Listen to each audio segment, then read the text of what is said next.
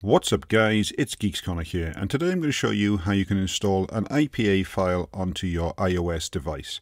Now Apple devices use IPAs and Android devices use APKs so I'll do a video in the future about sideloading some APKs but this one we're going to be using an app called AltStore and I did a video a few days back showing how you to install AltStore onto your Mac or Windows PC and I'll put a link in the description so you can actually go ahead and look at that one. So as you can see I've got four IPAs on my screen here so you can install any one of those. So just for the purpose of this video I'm going to install a modded version of the Spotify application. Now there are several websites out there that you can choose these IPAs Obviously, you need to make sure that you're trusted websites. So make sure you do some research to ensure that it is going to be a trusted website first of all. Now, First off, you're going to click up here to Alt Store, which is now going to be in your menu bar. Okay, and as you can see here, we've got About Alt Store, we've got Install Alt Store, and to enable side loading of the IPA, you need to be pressing on your Alt key on your keyboard, and that will change to Sideload IPA, and then it will have your device's name. So for this purpose, it's Grumpy Geek, and this is going to be on my iPad, but you can use this also on your iPhone as well.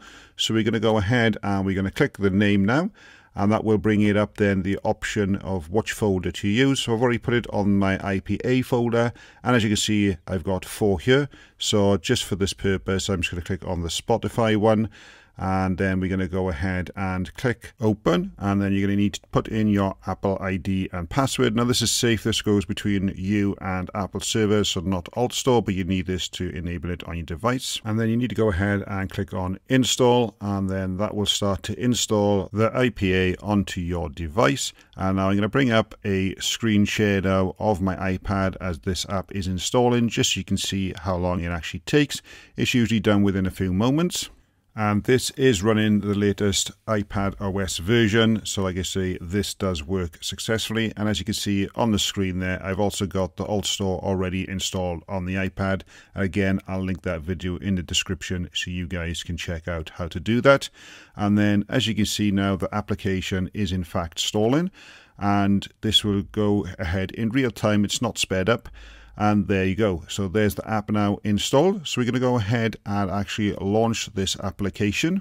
And then the first time it should ask us to relaunch the application but it's asking us obviously to allow notifications. We click allow so we click restart the device as well and then it's going to go ahead now and just give us some more information and it's going to ask us to allow it to track. So again that's up to you. I'm going to choose not to allow for the moment and there you go. So there is Spotify installed outside of the App Store. Now this does work fully. I'm not obviously going to play any music because I don't want to get a copyright strike on YouTube but as you can see the app is actually working there. So thanks for watching and I will catch you guys on the next video